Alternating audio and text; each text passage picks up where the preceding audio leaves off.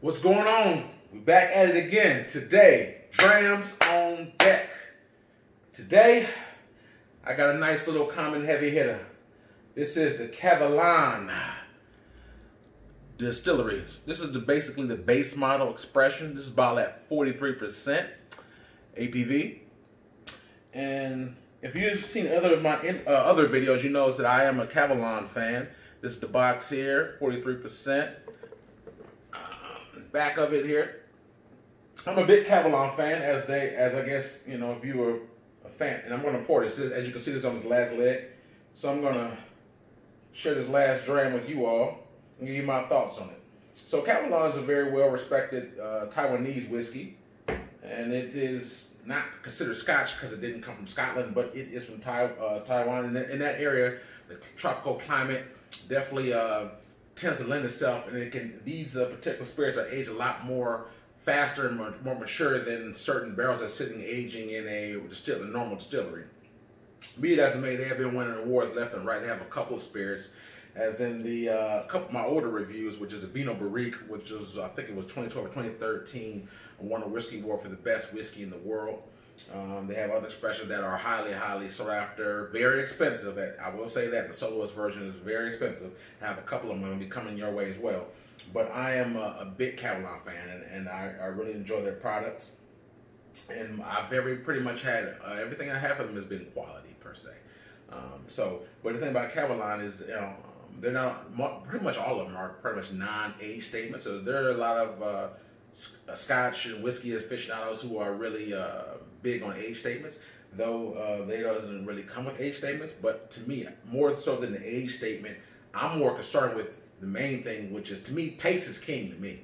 If something tastes good, it is king. So I mean, there's there's things that are very expensive that come in nice uh, nice packaging, but when the taste when you come down to taste, if the taste is lacking, I don't care about the prestige, about the price, availability, about the packaging taste is king first and foremost. So if something is, is trash, but you wrap it up nicely, it's not gonna get purchased again by me. So I, am that's just my opinion. But Kavalan usually has both. So be as may, um, this one right here was what you would call the entry level of Kavalan. Um, so it's almost like if you like the Mercedes line, you're getting a you know the A class or something like that, or the, the C class. It's pretty much the lower model. You know, this is which I, I, I in my opinion, I tend to call this a luxury brand um, because some of their other expressions are, you know, a lot higher up in the, on the food chain, not, but not just in price, but in quality as well.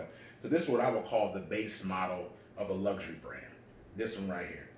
So I'm gonna jump on his nose.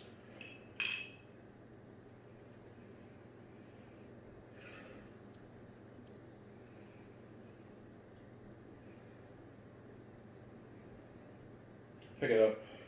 Not a lot of distinction per se, a little bit of vanilla, a little butterscotch, and that's pretty much uh, what I'm picking up on the nose.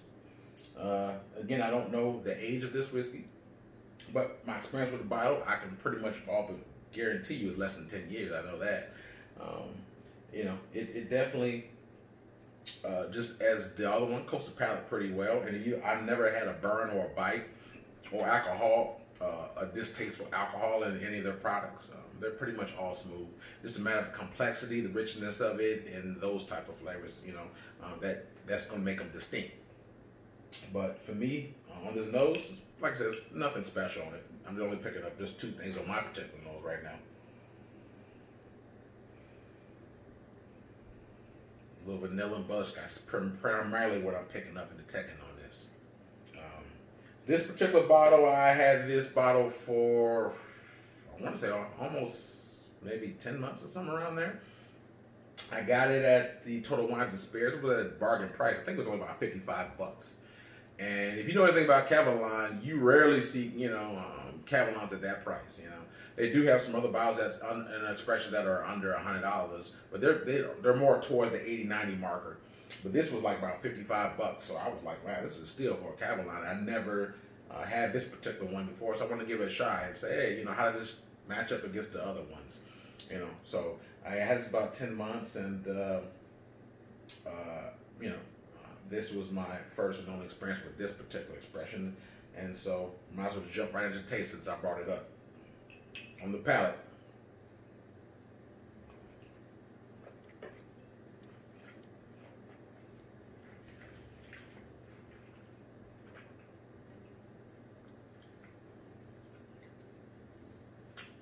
I'm take another sip before I give my true opinion.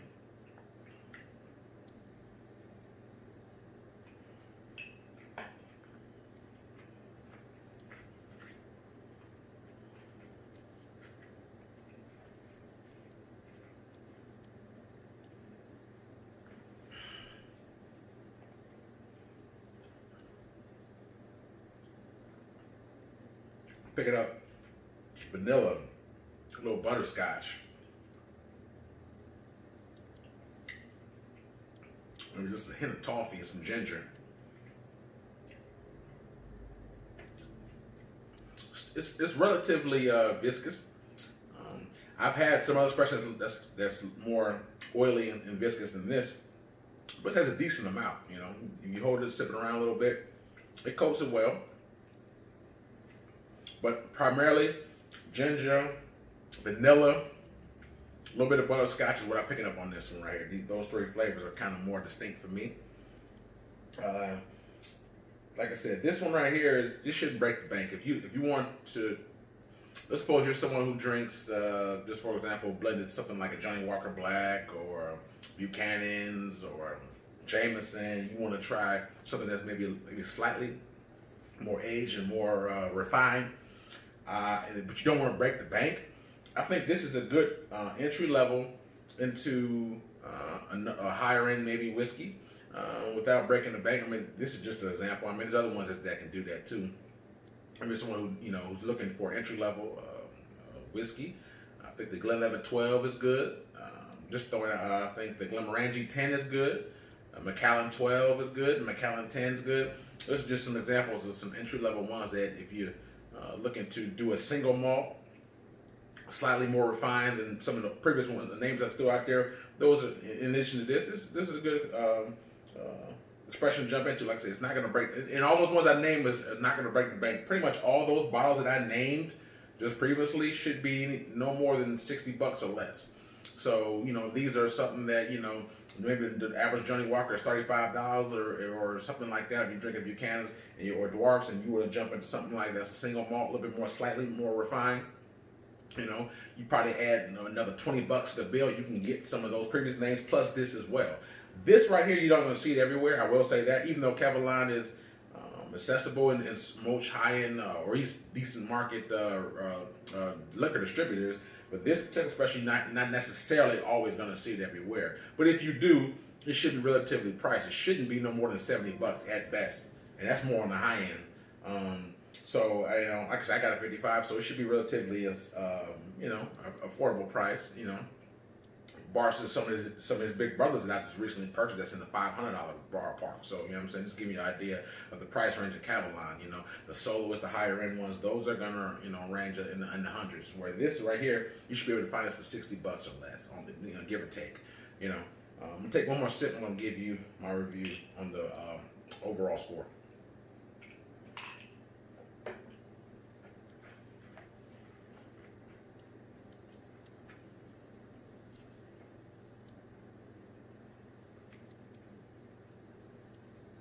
This is only like 43%. So I don't I didn't add water this because it doesn't need it. It's already 43. It doesn't need a drop of water at all. Overall, again, my last sip, I'm tasting the exact same thing. Vanilla, butterscotch, a little bit ginger. But vanilla and butterscotch are the two prevalent ones that I get the most.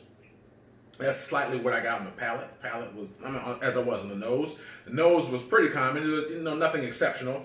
But on the taste wise, um, there's no burn, no bite pretty smooth.